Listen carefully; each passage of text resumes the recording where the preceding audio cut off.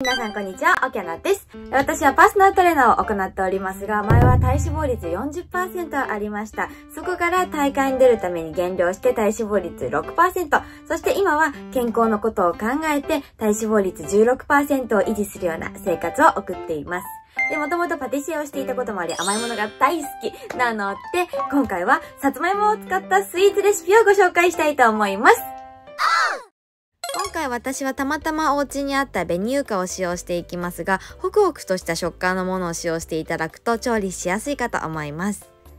で、その品種についてなんですけど、ざっと表に表すとこんな感じになっています。今すごくスーパーでもね、たくさんいろんな種類が出回ってるかと思いますが、だいたいスーパーに置いてあるものは甘みが控えめでホクホクした食感のものですね。で、今回の紅優香は右上の紅はるかと同じゾーンのところですね。かなりねっとりとしていて甘みが強いのが特徴です。ぜひお好きなさつまいもで作ってください。ちなみにさつまいもはすごく黒くなりやすいので切ったら水につける切ったら水につけるというようにもう長時間きちんと水につけた状態にしておきましょう。はいそして今回私は低温調理器のボニークを使用して火を通していきますがもちろん電子レンジでチンをしたり茹でていただいたり炊飯器で火を通していただいても大丈夫です。ただ電子レンジでチンをすると水分をかなり持ってかれてしまいますのでなるべく茹でるか炊飯器でやっていただくことをお勧めします。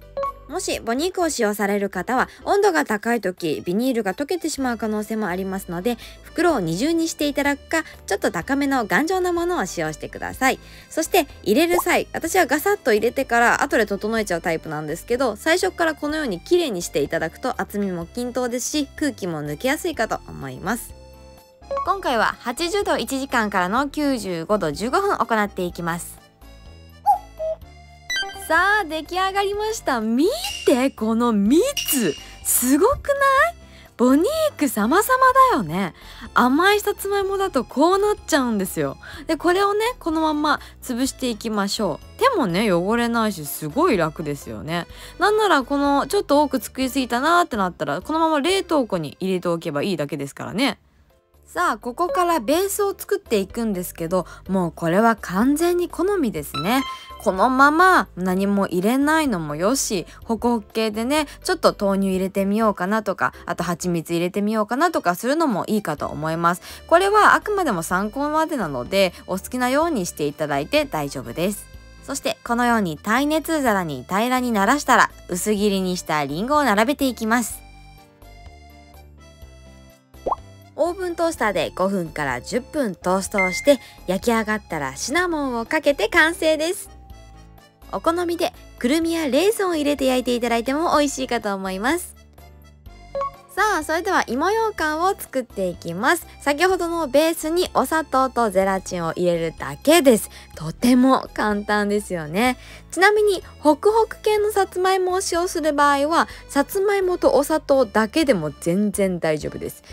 今回に関してはすごく水分量多かったですよね。なので固めるためにゼラチンを入れました。寒天でも大丈夫です。で、本来のゼラチンの使い方は裏面にしっかりと書かれてますので、その方法でやってください。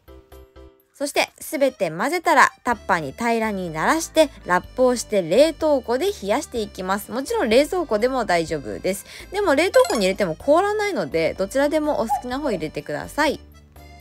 さあ固まったら切っていきます。ちなみにゼラチンって別名コラーゲンっていう意味なのでもちろんカロリーもないですしで今回ね入れることによってすごく食べ応えあるじゃないですか。腹持ちいいのでダイエットにもとても向いてますよね。配合によってはウイローと芋羊羹の間みたいな感じにもなるのかな。